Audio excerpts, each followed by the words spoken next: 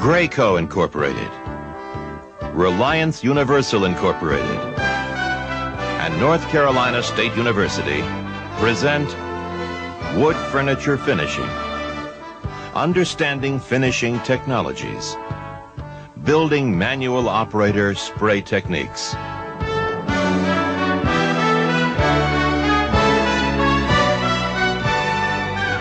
When customers search for that perfect piece or set, they are most likely to be first attracted to the quality of the wood furniture's finished surface. A top quality finish brings out the wood's natural color and adds luster and depth to the wood's natural beauty. A quality finish enhances the shape and style of the design, distinguishing a specific furniture piece or set from the rest. Furniture manufacturers understand that a top quality finish must be appealing, smooth to the touch, and provide years of customer satisfaction. The professional finishing operator's knowledge of wood finishing materials, processes, equipment, and spray techniques is essential to achieve a high quality wood finish. This video presentation is about manual wood finishing our discussion is divided into four segments. The wood finishing process, fluid handling and finishing equipment, spray techniques, troubleshooting and maintenance.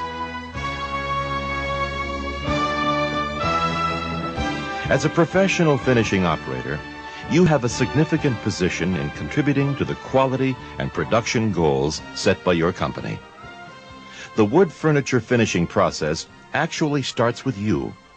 Your performance and skill on the line determine whether or not your company maintains its quality and production standards.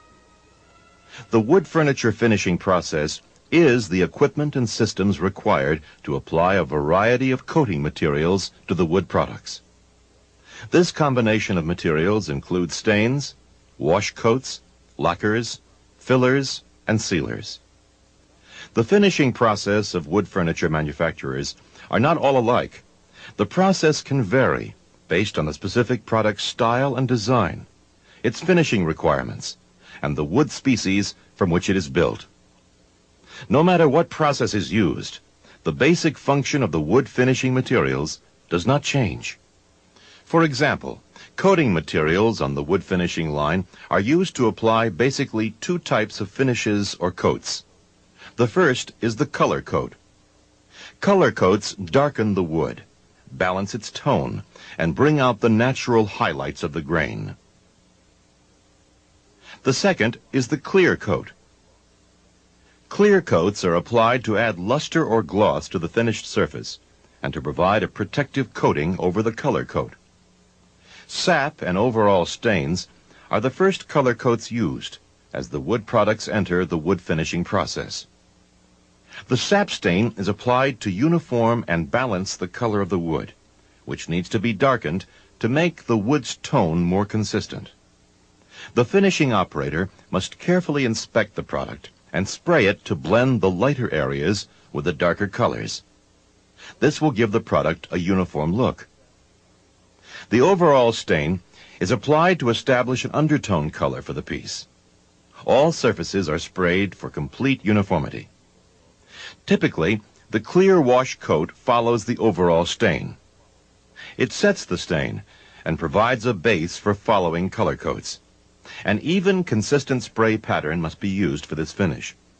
If not applied correctly, the wipe stains will bite into the grain too hard. The product is sometimes sanded after the wash coat is applied. Next, wiping stains are used to darken the wood and to enrich the undertones. The stain is heavily sprayed on the wood product and then wiped with a clean cloth to produce an even stain color. Good operator technique is especially important here to reduce overspray. Fillers, like wiping stains, enrich the color of the undertones and add color to the wood's pores to build contrast and to make the surface more smooth. These stains are also sprayed. Their film is wiped across the grain in a circular motion to work the stain into the pores. Clear coat sanding sealers are applied to seal in the stains, fillers, or other color coats. They raise the wood fibers. They are also sanded. Glazes are always sprayed over the first set of coats and over a sealer. Glazes produce unique finish effects, such as color.